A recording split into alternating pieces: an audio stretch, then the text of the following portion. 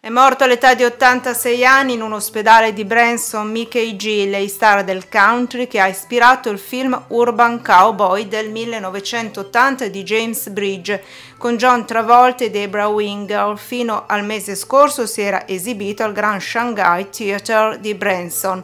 Purtroppo nell'ultima settimana le sue condizioni di salute sono diventate improvvisamente peggiori secondo una dichiarazione che è arrivata nelle scorse ore.